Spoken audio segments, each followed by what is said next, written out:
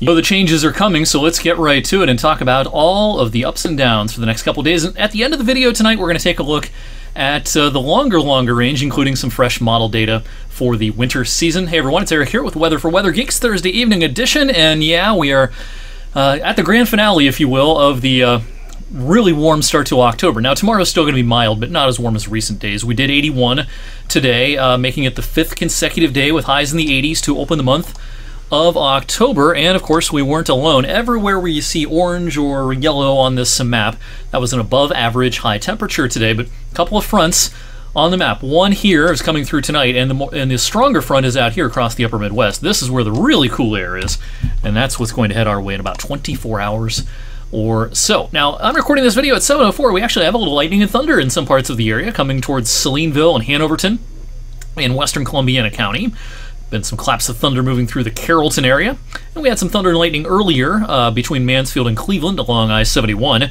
Showers uh, will be pushing in uh, just after I record this video, and they'll be here for much of the night tonight. But it's been a lack of rain that's kind of been a story of late. Today's Thursday, so we got an update on the U.S. Drought Monitor, and just about all of Ohio and all of western PA outlined in the abnormally dry designation, and we even have some moderate drought conditions uh, displayed across southern Ohio, western Ohio, and up around Erie and Ashtabula in northeast Ohio and northwest PA. We're going to get a nice drink of water, the lion's share of this coming tonight. But there could be a couple showers tomorrow morning, another shower possibility tomorrow evening, and maybe some afternoon showers on Saturday. But again, the lion's share of this is tonight, and I think we're looking at probably a half an inch to an inch worth of rain on average across our region. So be one of the healthier drinks that we've had in the last several weeks. All right, we have not had a drop of rain during high school football Friday evenings yet this season. That could change here and there Friday evening. Now, it's certainly not going to rain everywhere. I don't think thunder and lightning is very likely but there could be a passing shower.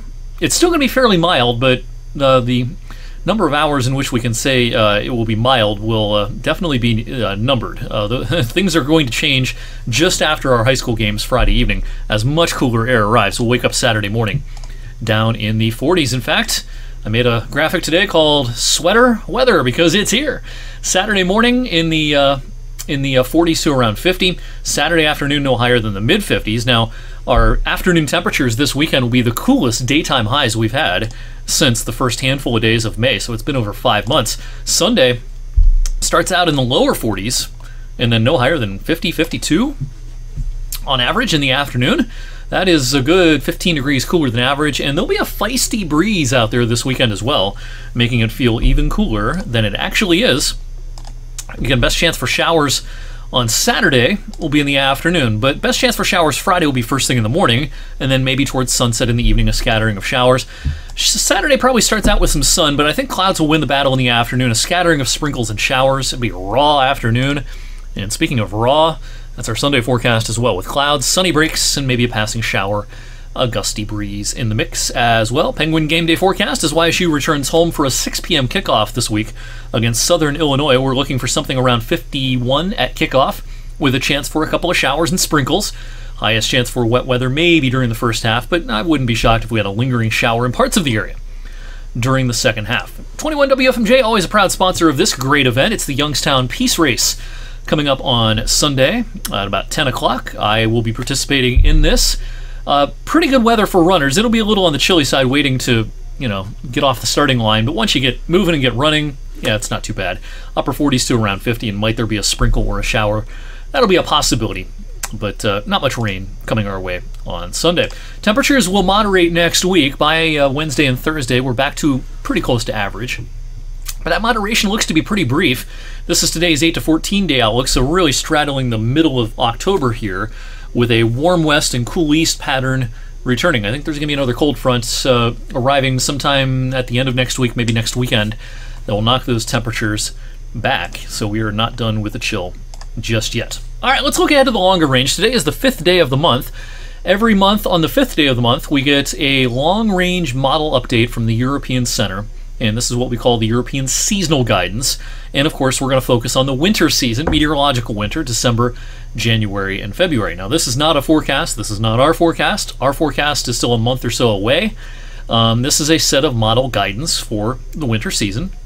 What we're looking at here, temperatures compared to the average. Now, this suite of modeling does have a hard time seeing cold and displaying it graphically in the longer range. So it's actually a little bit impressive that it sees this much blue for the winter season out here. That doesn't mean it's right, but it's kind of impressive to see that much blue on the map, um, considering you don't typically see a lot of blue on these longer range maps in recent years for uh, you know seasonal guidance. Taken literally, this suggests, of course, a warm winter compared to the average in, in Canada, the northeastern U.S., maybe cooler than average Intermountain West parts of the Plain states. Uh, this is a fairly classic El Nino look. A lot of times El Nino is warm up here, cooler than average, southern tier of states with a more active subtropical jet stream. Um, and so this doesn't stray too far from that classic El Nino look, but I'll tell you, there's a lot more going on with the forecast other than just El Nino uh, this winter. We're going to go into all those details in that annual winter forecast release coming up in a little more than a month, and I'll be sprinkling in occasional posts like this on Weather for Weather Geeks between now and a month from now, talking about the things I'm looking at and uh, considering when we put together our winter forecast. But that set of guidance taken literally would suggest that it ends up being kind of a wash temperature wise locally this winter. Uh, breaking it down by month, I didn't show you month by month, but breaking it down by month, the European would suggest that December's warm, February's cold, January's kind of a transitional month. Um, I do kind of subscribe to that idea that we're going to get off to a slow start this winter. It seems unlikely that we'll have some sort of repeat of what we had at Christmas time last winter. Uh, December could be pretty darn warm. February could be pretty darn cold. That's kind of the way it looks right now. I subscribe to that idea right now, but we got a long way to go, a lot of stuff to look at over the next month. In the meantime, enjoy the pitter patter of raindrops on your uh, windows tonight. A mild night tonight, but here comes the cold for the weekend. Have a great uh, Thursday night, everyone. Thank you for watching. I'll see you back here for a fresh edition of Weather for Weather Geeks on Monday.